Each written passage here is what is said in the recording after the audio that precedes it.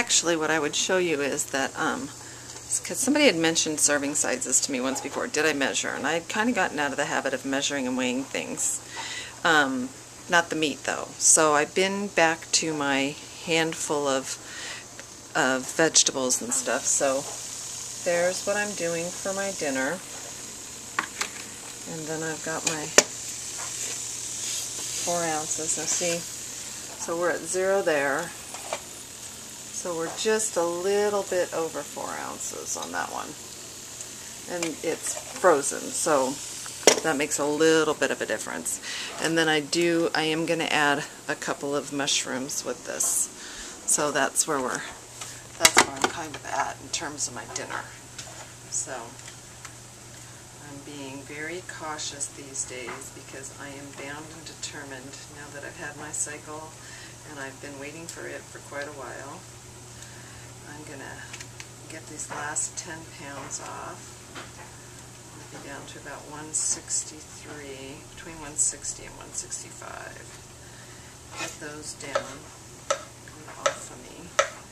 Start getting my exercising in. My little one wants to go bike riding on a regular basis, so we're going to try and go bike riding after work and stuff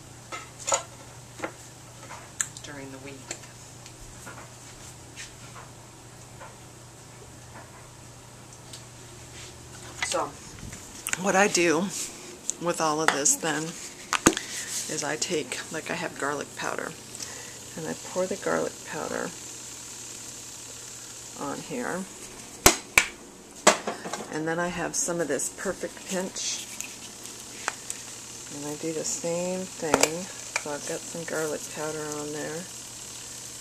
And pour a little bit of that on there. And then a little bit of the sea salt.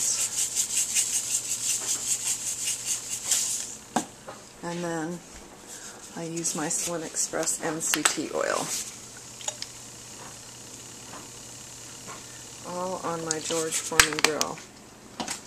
Yay, love George Foreman grill. Anyway, so if you haven't got yourself a George Foreman grill, go get one. It's very important when you're on this eating regime to have something like that. I've got the kids' dinner here is ready. My